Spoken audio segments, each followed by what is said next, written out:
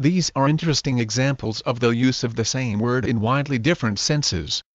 In the first series the words in question imply merely earnest effort. In the second, quarreling. Some collision. The citation from Luke would be properly rendered, agonized to enter in at the strait gate.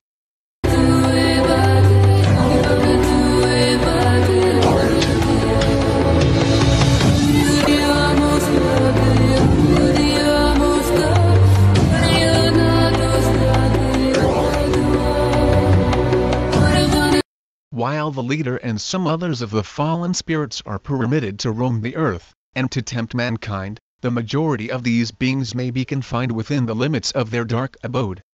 Even those which are let loose have only a restricted liberty. Beyond certain environing lines they are not suffered to go, they are under strict surveillance, as we might express it by a borrowed figure, bound over, or so secured that they cannot escape the judgment of the last day. Davidson thinks that chains of darkness signify metaphorically misery, odorateness in wickedness, and despair. A being may possess physical liberty, yet wear, at the same time, the heaviest mental and spiritual chains.